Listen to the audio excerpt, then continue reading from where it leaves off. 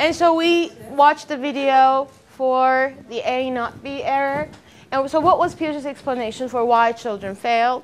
He thought that children still identified action uh, objects with the actions that were attached to them. So remember, say it's this eraser, all right, and it was always hidden here. So the child has child's representation of this object includes this action. Okay? Because it keeps doing it according to Piaget. So the object is not separate from this action. It's almost an extension of the action. It doesn't stand on its own. Hence, when the object is moved, in order to retrieve the object, the infant is still doing the same thing. But this is not the only explanation in town. Adele Diamond has argued, and very convincingly so, that infant's memory, so how long does the infant wait, for example, before being allowed to search? And executive function abilities, executive function, we will see it later, is your ability to control your attention, to monitor your attention. And also to inhibit, to stop yourself from doing, from saying things that you don't want to say but are automatic, right? So the Stroop task, for example, you, you guys all know the Stroop task, relies on inhibition, good inhibition, right? Because, for example, you see a color but have to read it. Or you automatically read it but have to say the color. So you stop yourself from giving a response that is automatic and focus on something else. So in this case, the argument then becomes that it is so automatic now for the child to reach this way that the child cannot totally stop themselves. Very similarly, uh, motor perseveration uh, argument by Renée Baillargeon says that children kind of get in this loop of reaching for the same place. Getting what? Efendim? Getting what? Şey haşırdadı da duyamadım. Getting bir şey dediniz. Um, I don't know what I said. I'll just say the meaning once more.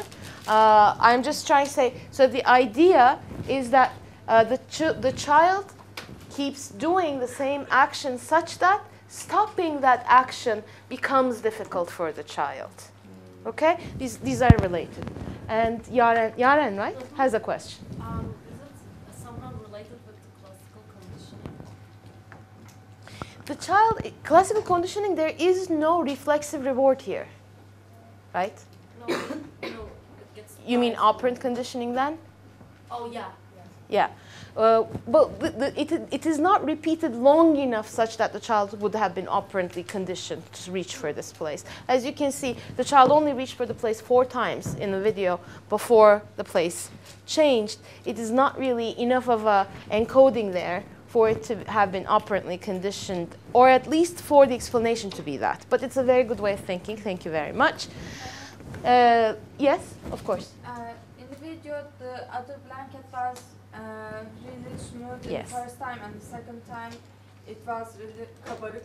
Mhm. So child maybe get confused uh, and think about. Why would they get confused? Because they have always been choosing the one that had something under the blanket.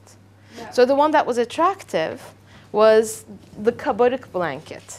So if now the other blanket is in the same way, it should at, at least give a cheat to the child, a cue. But regardless of that, it wouldn't deter the child from reaching for it if you think about it. Because that blanket, the way it is, bumpy, has been providing the novel stimulus. So if the child saw that the bumpy blanket is in the second place, there is no reason why they should avoid it. So it can't be an explanation for why the child is still reaching for the other one. Okay? In other words, this is a competence versus performance problem. We have, have we talked about competence performance a little bit in chapter one, I think, right? So this is basically the argument that the child has the competence to carry out the task. They could succeed. They know enough. They're able enough. But performance factors, meaning the, the details of this testing situation, are complex such that the child is not able to show what they know.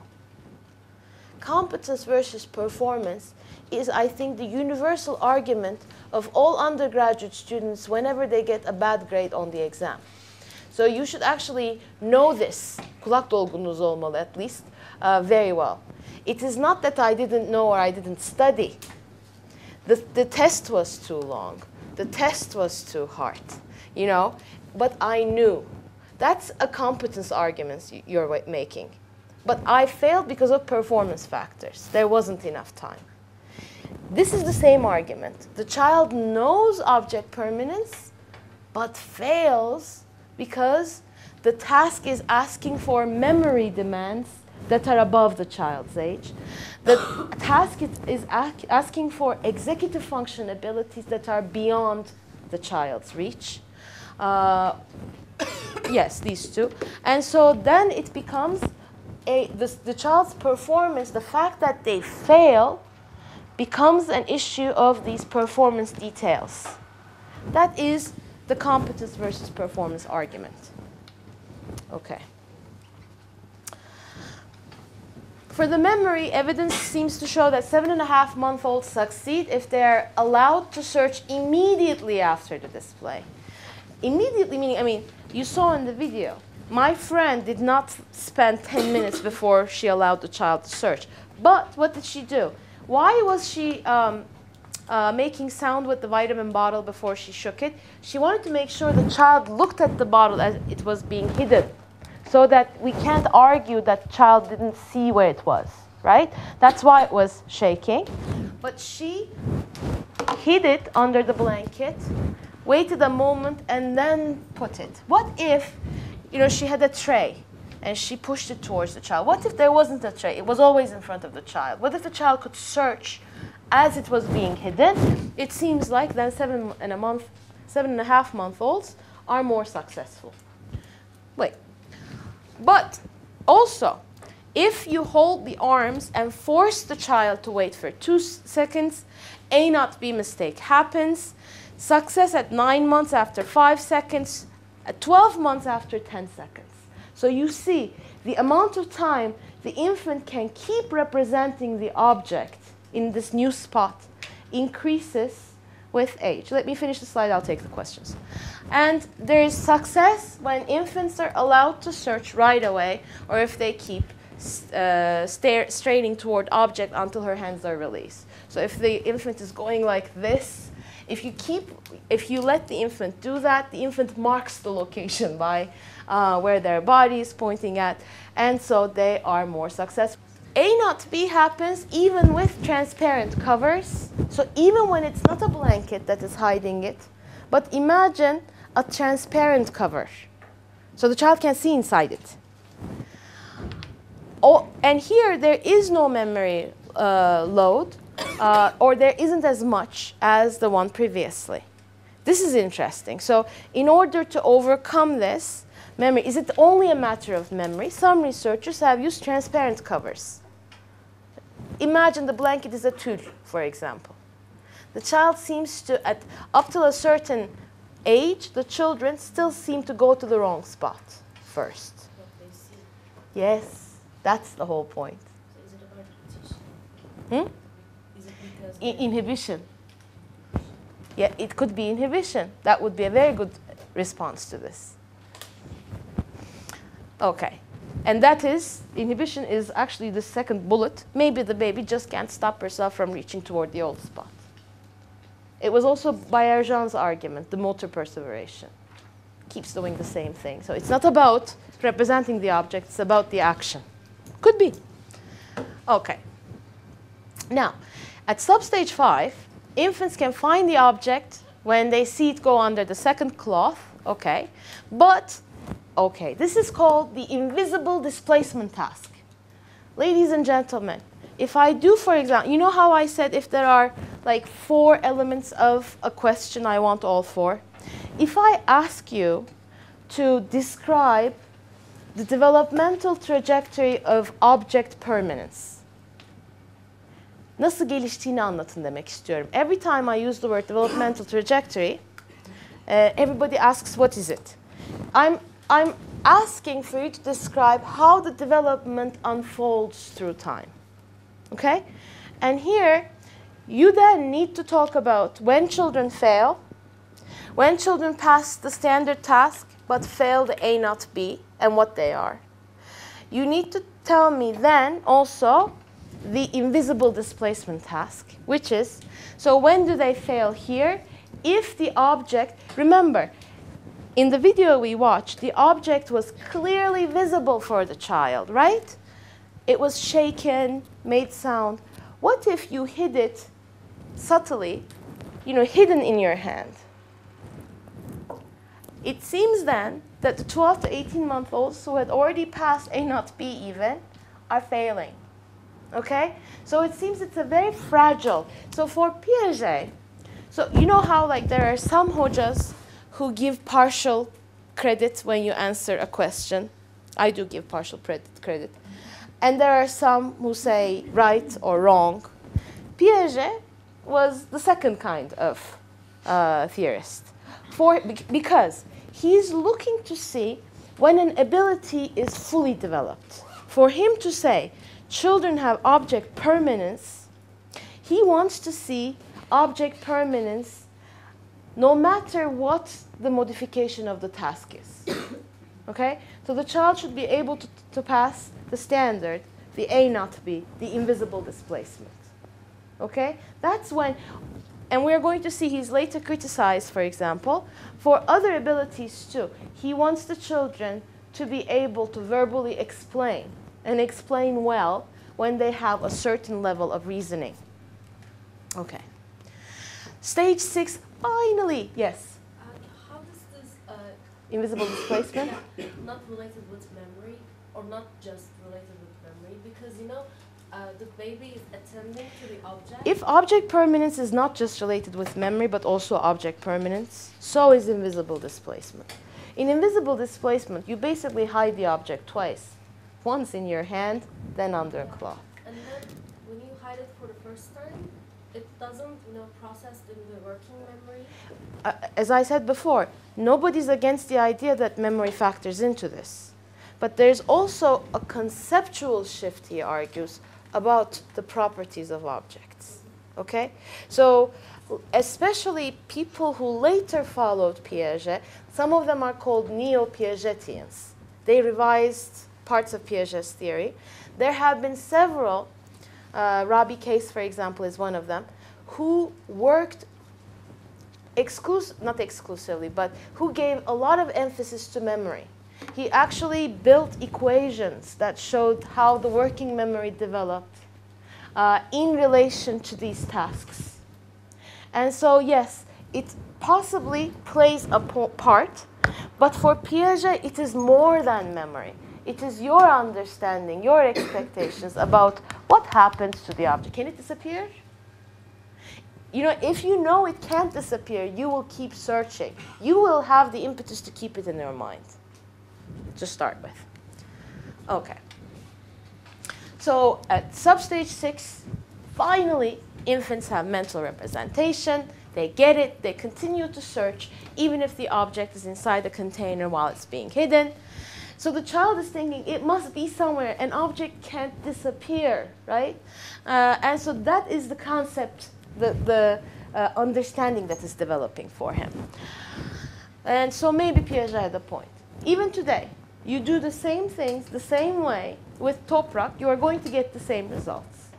So it hasn't really changed. He was on point. And also, I want to highlight the fact that he might have, Piaget might have started with the observations of his three children, but he actually founded his own institute at the University of Geneva, and he had, has a lot of empirical work on this. So don't think he just worked on his three children. That's where he got his inspiration and detailed observations from. Then he has books and books of empirical work that still would hold, if done the same way, it still holds today. Okay. All right. This is about inhibition. I'll pass. Uh, not very important for now. Uh, and also, I'm in a time crunch. Here, um, there are other ways of looking at what infants understand of object uh, representation. This one is um, a violation of expectancy paradigm, meaning, now you know how like uh, both adults, children, and even babies have anticipations, meaning they expect something to happen. They have expectations. If you present them something that goes against their expectations, we expect that the infant will be surprised, right? If you show them something. For example, if infants know that every time you drop something, it drops down. Every time you let something go from a height, it goes down. What if we show infants something where I drop something and it just hovers? They look more, which tells us that they expect it to drop, right? So in this violation of expectancy paradigm, and you will not forget this from my previous experience, I will show you this next year and you will still remember it because of the way I described this experiment. So here's a short carrot. And here is a, um, uh, uh, block. And so what is happening here is that the short carrot, imagine me, is walking behind the block. As the short carrot is walking, it becomes invisible because the block is big. The same thing happens with the tall carrot. Tall carrot moves, the block is big enough that the children don't expect to see the carrot, but they expect to see it from the other side. What if there was an opening, somebody cut out a window in this block? Again, short carrot walks.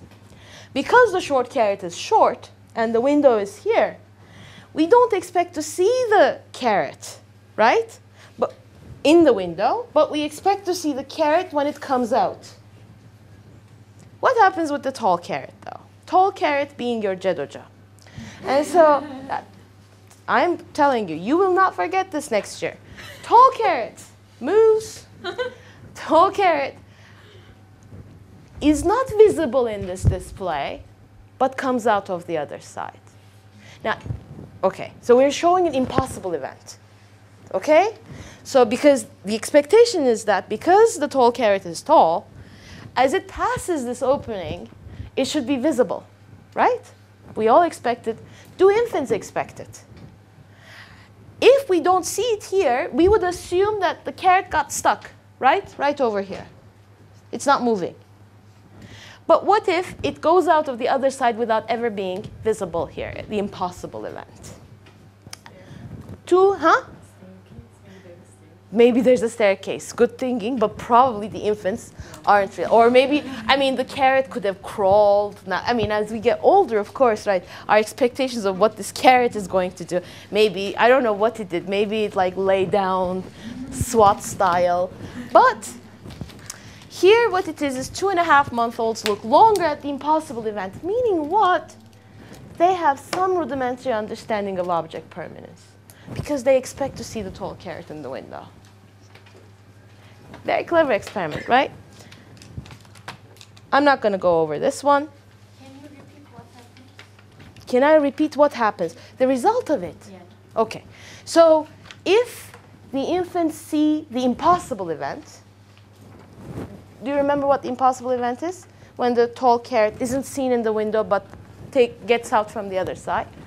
Two and a half month olds look longer, which means they're surprised, which means long before they will pass object permanence, they actually have some very basic understanding, some expectation of an object's permanence. Okay? So that's what this task is showing. Criticisms against these violation of expectancy paradigms or the um, evidence that is uh, attained from them, it's the question, what does it measure? What do they measure? So we are seeing infants looking longer at things, right? Uh, we, it is telling us infants are surprised. We infer that surprise means they had a prior expe expectation that wasn't fulfilled. But can we claim that that is knowledge? What? Can we claim that is knowledge? Just because someone is surprised because they have an expectation. Can we say that that person has an in-depth understanding of a concept? Right? For example, you have an expectation that every day that you know sun will rise from the east. Olur mu? Evet, olur. From the east. And so your house and every day the sun rises, correct?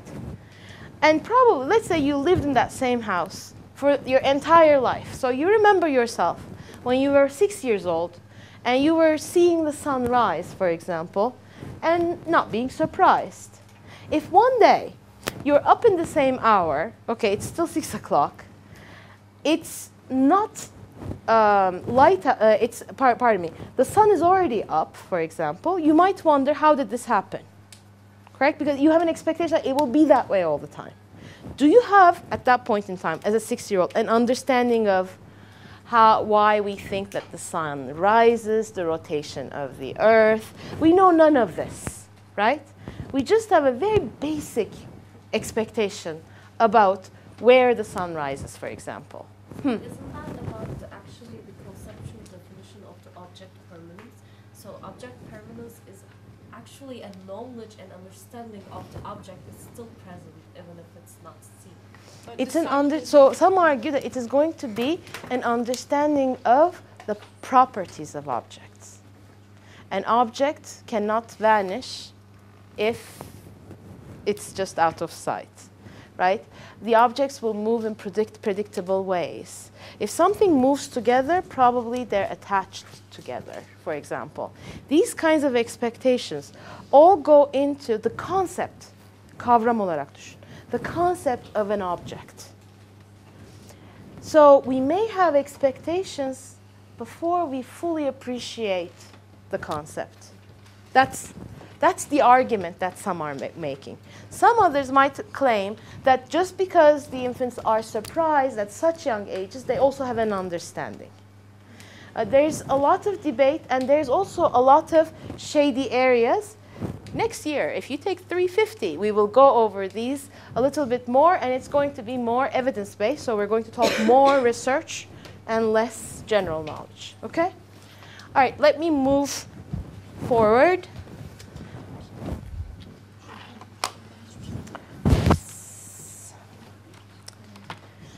Other ways of studying object representation, uh, dynamical systems approach is one.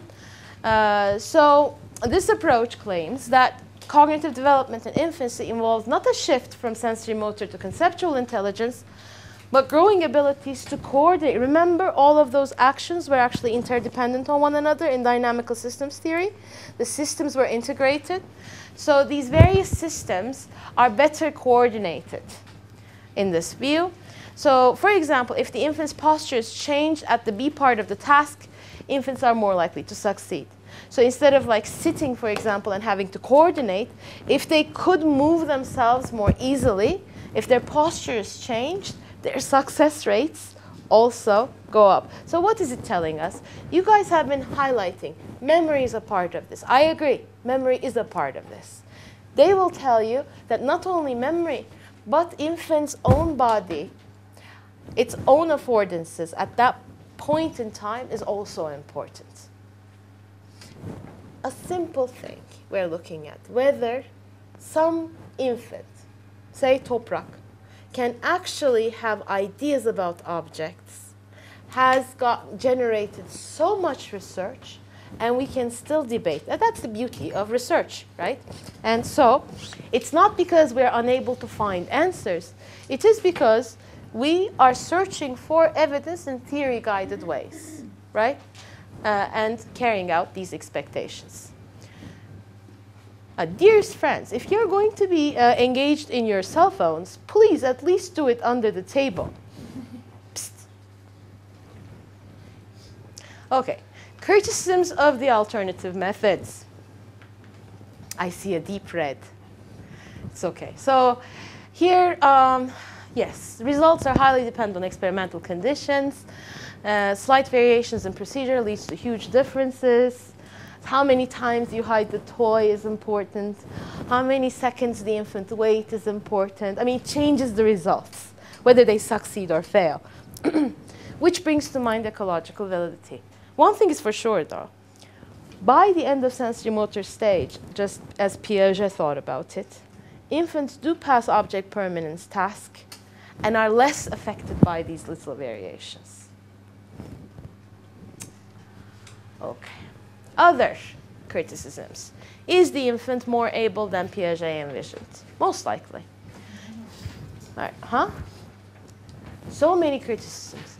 Mental representations, for example. So, according to, to uh, Piaget, we know mental representations will happen towards the end of sensory motor period. That's going to mark the shift from sensory motor period to preoperational period. Uh, and we're going to see uh, both deferred imitation and also uh, symbolic play, beginnings of language uh, for mental representation. Now, um, is that so? Other research, which looks at, for example, the timing of deferred imitation, remember deferred imitation, right? The delayed imitation, right? Uh, also, using of operant conditioning uh, tells us that infants are able to do this much earlier than they're one and a half years of age. So, for example, this is from your book, Figure 6.3. Uh, what they did here, at, I mean, this is extremely cute. So, by the way, let me tell you, uh, next week, Tuesday, Gaia Soleil from uh, University is coming to give a talk.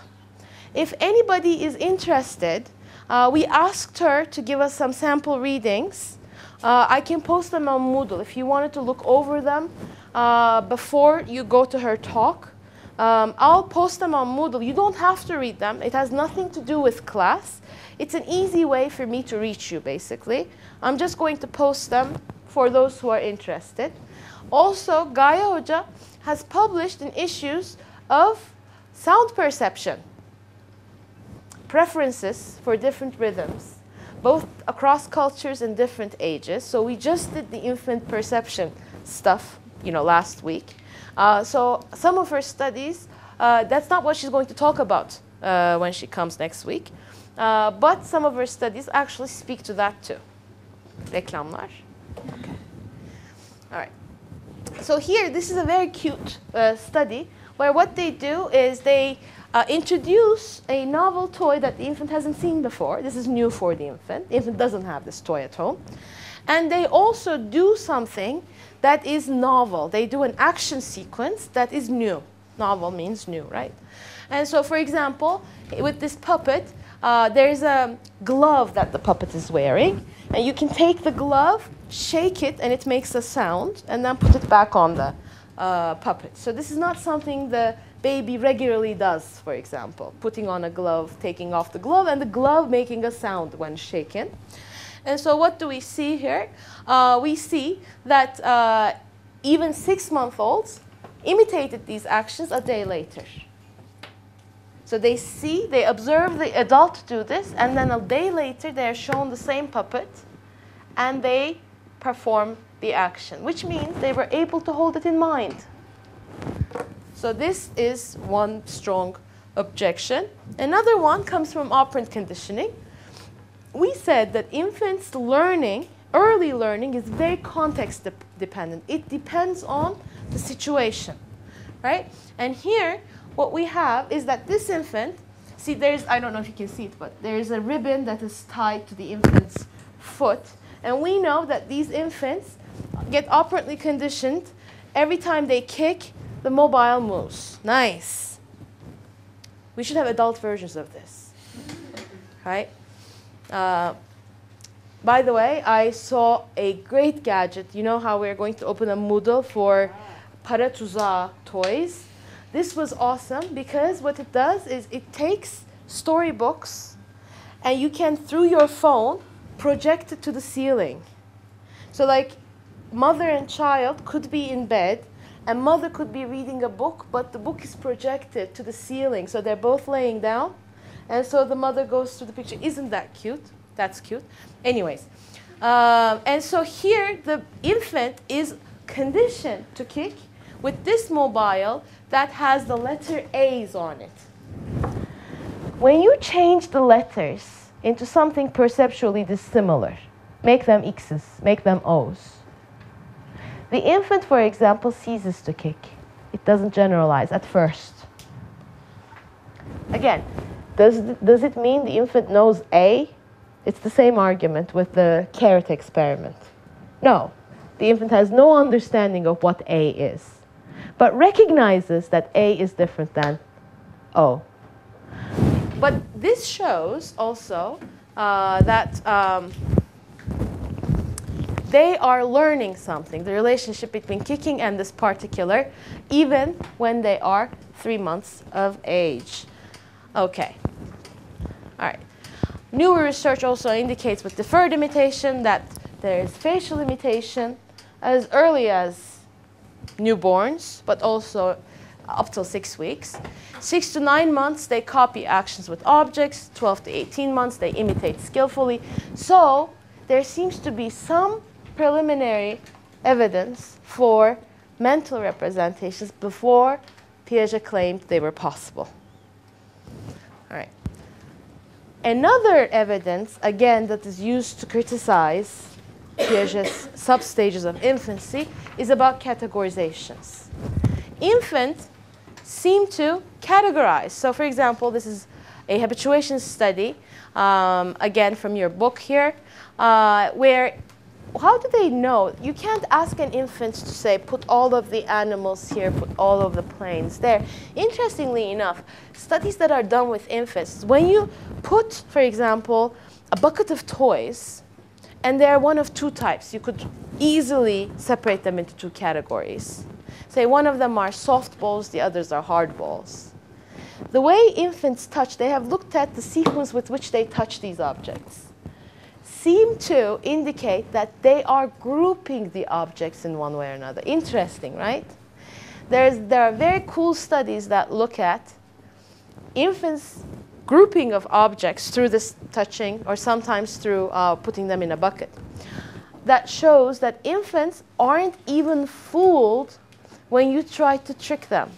So they did animals versus vehicles in one study.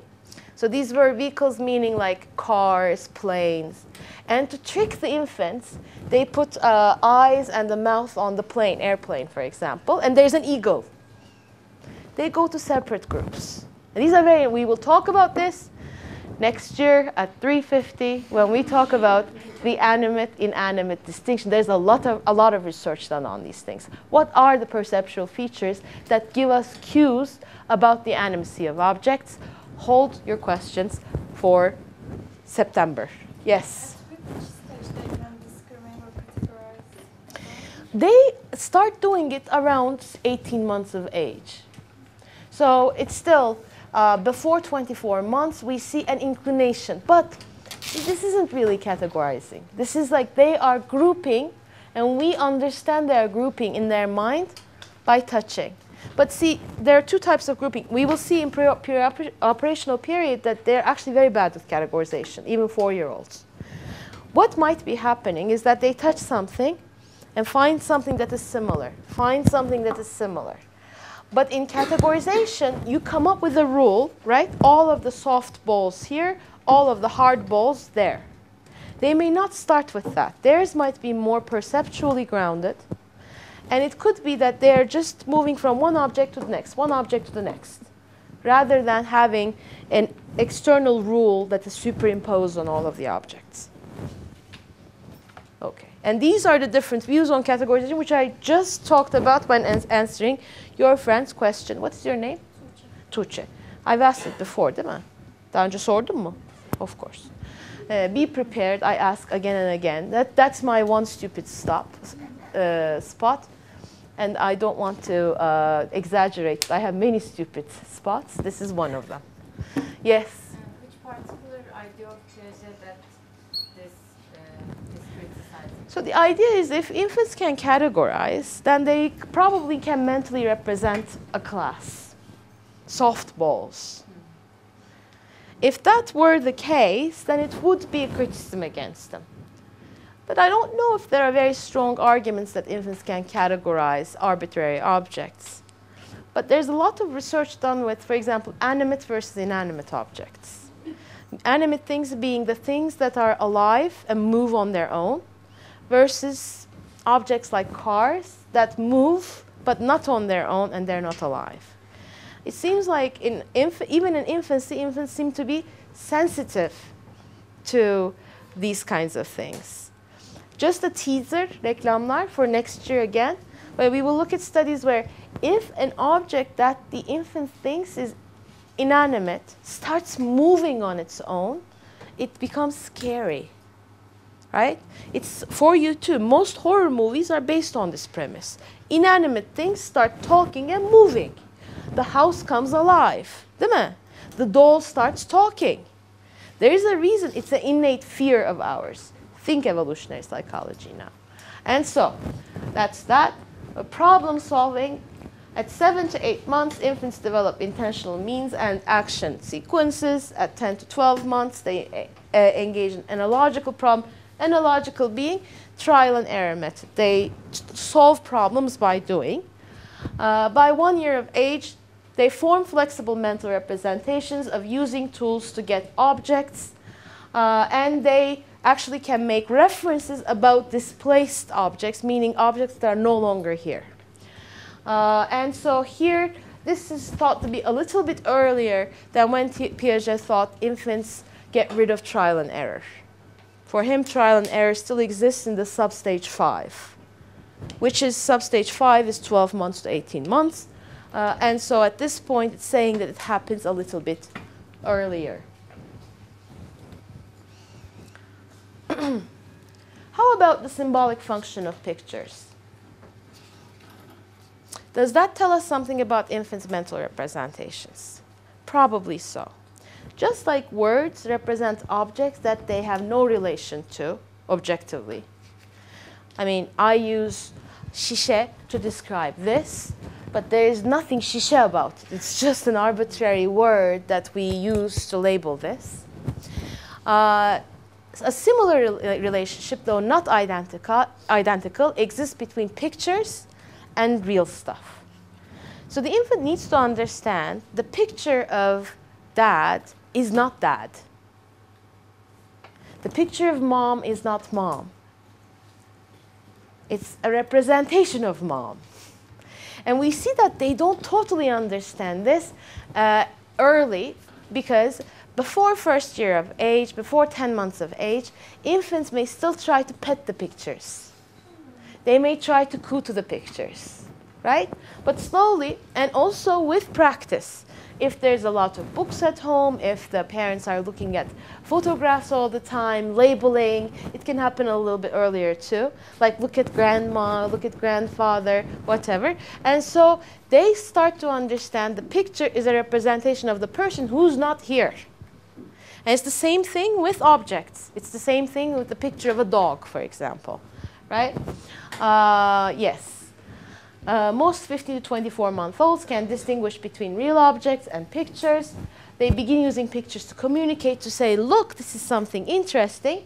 And they mostly understand the symbolic nature. Ah, but this is not it. Again, in Psych 350, you're going to see we're going to spend one week on children's understanding of symbolic artifacts. When do children start acquiring information from symbolic tools? Mesela maps. I am not sure I still read maps, by the way. But we will see, because understanding a picture is one thing, like looking at the picture and appreciating is one thing. What about if there's a specific kind of information you need and it's hidden in the picture? Maps are exactly that. And we're going to see that that extends to three and a half years of age, and if the task is difficult enough, even later. Okay. Video deficit effect. Now, because infants, and this is relevant, this is relevant for us, this is relevant for Emre Bey, uh, this is relevant for anyone and everyone who has a baby around.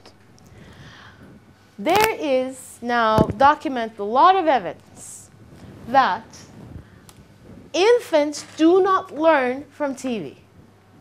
I can't say it loud enough. It doesn't matter what the TV is labeled. It doesn't matter if it is Galileo TV. It doesn't matter if it is uh, toddler TV, işte minik TV, whatever it is called.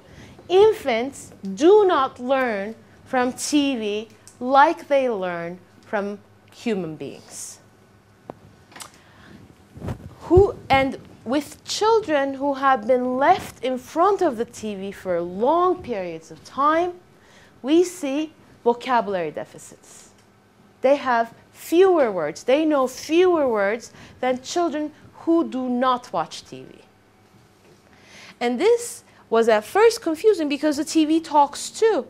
If all we need is to hear words, if all the infant needed was to hear words, then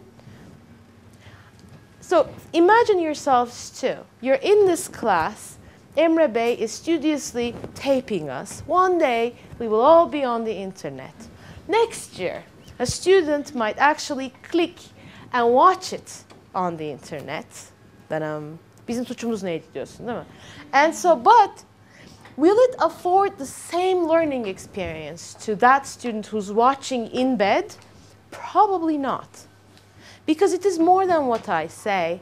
It is your questions. It is the discussions we have, right? It is also the fact that no matter how limited, I try to make eye contact. Most of the time, I'm successful unless you are on your phone. Arda. Huh? Yes. I was talking about you. Senden bahsediyorduk diyorum. yes. I know this has been a long class. You have to just bear with me eight more minutes and then we'll be done. You will eat, I will eat, everyone will eat. Okay. Infants can confuse video images with reality, and this, their inability to learn from video information, from digital information, is called the video deficit eff- effect. And experts recommend, uh, geliyorum, uh, against mass media exposure before two and a half months. This is not only TV. This is your iPad. This is your iPhone. This is your Android phone and Android tablet. It doesn't matter what the brand is. If it's digital, we say you don't need to show it to your kid before two and a half years of age, but there's a caveat. Recently, in the last six months, uh, American Pediatric Association issued a statement that said it is okay to interact with tablets when children are below two years of age, between one and two, if the child is interacting with the digital media with their parent. Some parents misunderstand this. Being in the same room with your child does not, is not what is implied. It means, you know how when a child and a parent plays with a ball, they share attention? It's called triadic attention. The child attends to the parent, the child attends to the ball, parents attend to the child and to the ball. That, that kind of triadic attention needs to be. And they said, I mean, keep it to a minimum and use it mostly for Skyping relatives that are far away. So, Skyping with grandfather. Not everybody's living in the same city or the country anymore. Skyping with, uh, or FaceTiming or using whatever device to talk to loved ones isn't as harmful as watching endless cartoons, having the infant play with the tablet. I will talk about it more, but you can Google and find on YouTube videos of cats playing with tablets. my cat, and I have a cat, his name is Toby, has a tablet game on my iPad. Really? Yes, there's a mouse. It keeps going around.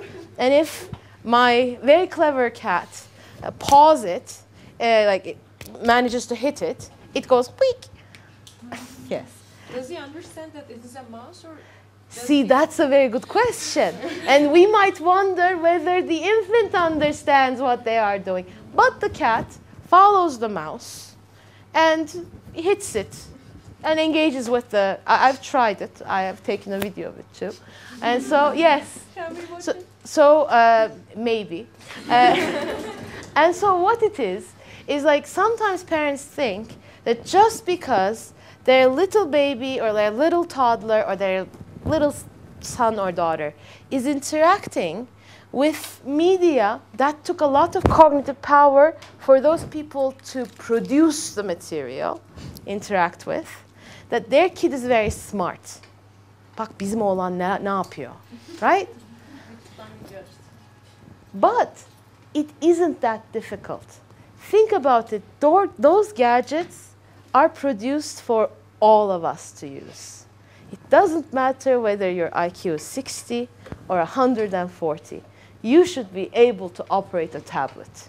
It's very simple. You put your finger on it, it opens, right?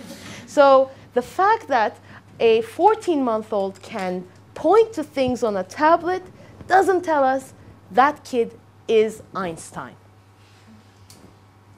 Yes. So that was, I felt like I was giving a political speech there, but I was. I was. Let me see. Bear with me, I will be fast. Four more slides, then I'm done. And I still have three minutes. Reasoning counting.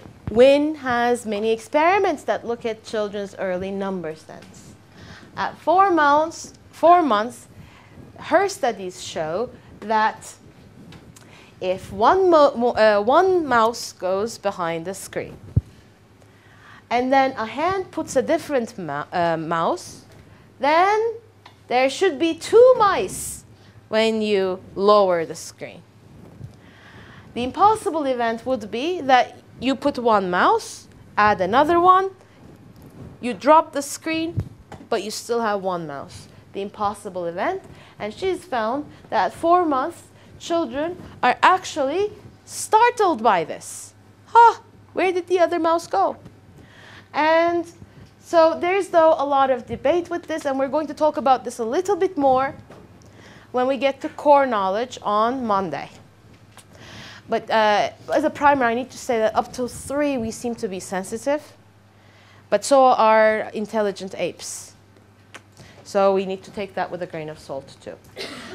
So reasoning, cause, and effect. Um, here, basically, for example, six-month-olds look longer at a ca- causally impossible event. Uh, yes.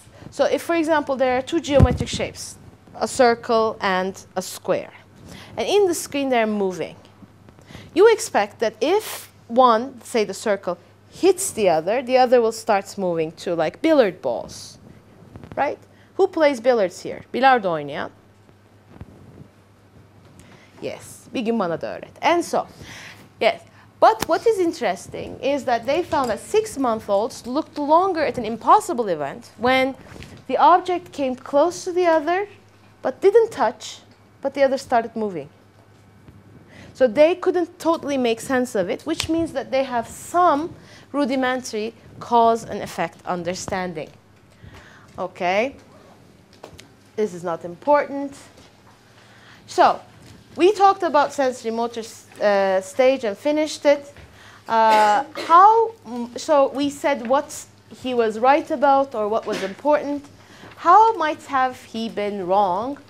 Timing of object permanence, timing of deferred imitation, timing of categorization, timing by trial and error, all seem to occur a little bit sooner than Piaget thought, and this is going to tie in very nicely with the core knowledge theory.